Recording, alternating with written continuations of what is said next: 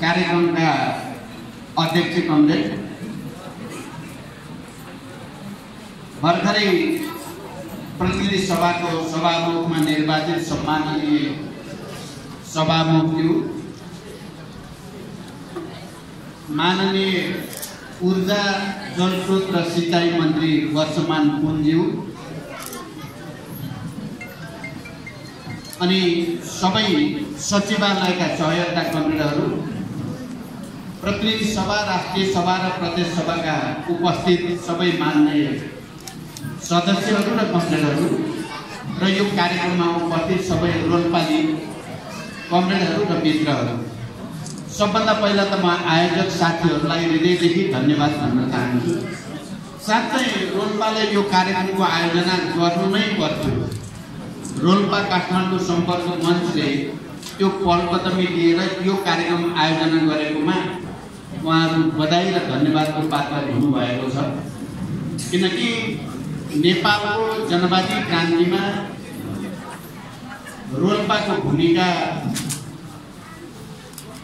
अग्रणी रह्यो भन्ने कुरा इतिहास सिद्ध भइसकेको छ। र रोल्पाले अग्रणी वर्ग सङ्घर्षको किल्लाको रूपमा विचार निर्माणमा पनि नेतृत्व निर्माणमा पनि अग्रणी नै हो भन्ने कुरा साबित भइ नै सकेको छ। यहाँ कमरेड जयपुरी घरतीदेखि कमरेड वर्षमान कुन र भर्खरै सभामुखजीले जे जति कुरा राख्नुभयो त्यसमा सच्चाइ छ भन्ने म राख्न चाहन्छु। त्यो सत्य कुरा हो। विचार नेतृत्व सङ्गठन र जनताको बिचमा बलियो विश्वासको सम्बन्ध भयो भने ठुल्ठुला परिवर्तन सम्भव हुँदो रहेछ भन्ने कुराको एउटा प्रमाण हो रोल्पा र हाम्रो जनयुद्धको क्रममा देशैभरि चाहे मुख्य केन्द्रीय आधार इलाकाको रूपमा हामीले रोल्पा रुकुम जाजरकोट सल्यान र अनि विभिन्न क्षेत्रका आधार इलाकाको रूपमा पनि हामीले विभिन्न जिल्लालाई पश्चिमदेखि पूर्वसम्म हामीले मानेर चलायौँ। धेरै अप्ठ्यारा दिनहरू हिजो थिए र त्यो अप्ठ्यारा दिनहरूमा युद्धको बेलामा विभिन्न राजनैतिक र फौजी पनि जटिलता आएपछि मैले जहिले पनि रोल्पा जाने त्यहाँको साथीहरूसँग कुरा गर्ने त्यहाँको जनतासँग बस्ने अनि त्यो समस्या समाधान गर्ने गरेको थिएँ।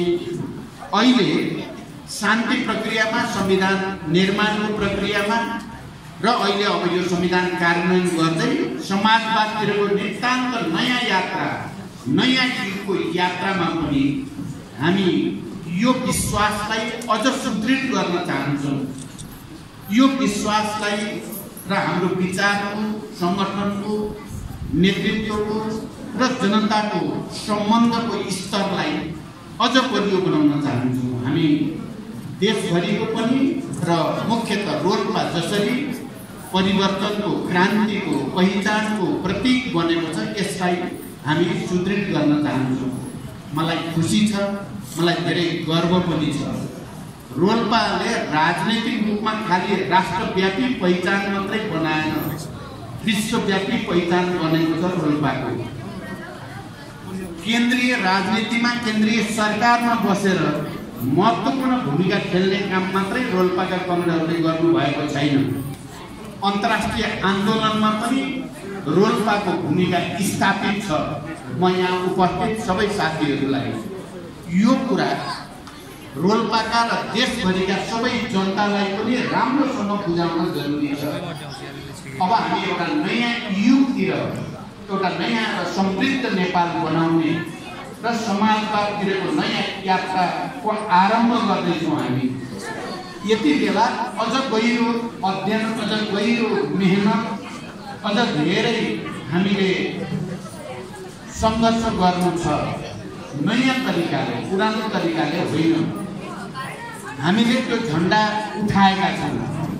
पक्कै पनि माओवादी आन्दोलनलाई माओवादी पार्टीलाई माओवादीको नेतृत्वलाई र तपाईँ रोल्पा रुकुम लगायत देशभरिका चाहिँ क्रान्तिकारी जनतालाई पनि एउटा नयाँ क्रान्तिको नेतृत्व गर्ने फेरि अवसर प्राप्त छ।